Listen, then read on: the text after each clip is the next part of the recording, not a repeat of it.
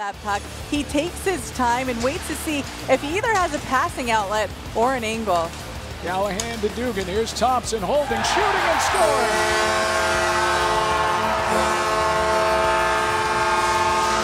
Tyce Thompson, power play goal for Providence. That's Tyce's fifth of the year. And the Friars, for the sixth straight game, take a 1 0 lead. And a beautiful. Freshman Brown. They go down low, back to Brown, and he scores. Power play goal. Riverhawks tie the game in one.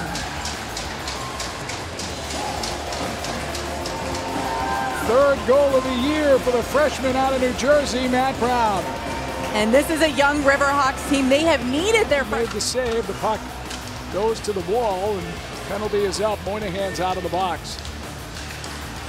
Well, the Friars dodge a bullet. Here's the steal. Kaiser to the net. Save. Lackey score. It leaped through, and Kaiser gives the Riverhawks a 2-1 lead.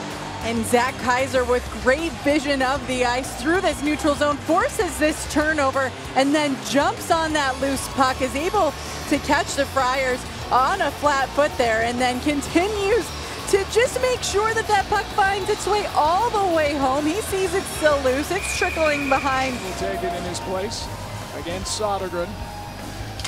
Good opportunity for Providence here. Callahan let a goal last night. Score! Patrick Moynihan, his second of the year.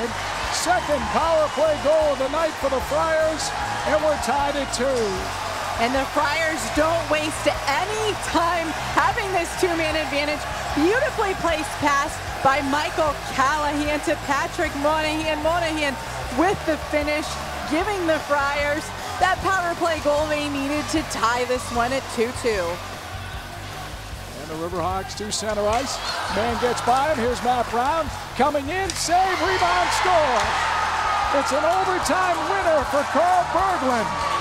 And the Riverhawks win it 3 to 2. Beautiful speed, Matt Brown, to set up this play. Take a look here. Matt Brown's going to collect this puck off the boards. He sees that he has a helper. That helper is Berglund. Berglund able to put this away with just under a minute left in overtime. Again, Matt Brown picks his head up, realizes that Carl Berglund is there. Carl Berglund makes no mistake, gives the Riverhawks a 3-2 win. So a big win on the road for the Riverhawks. Friars second straight overtime loss at home. And it winds up being a split of the weekend. The Friars win at BC on the road.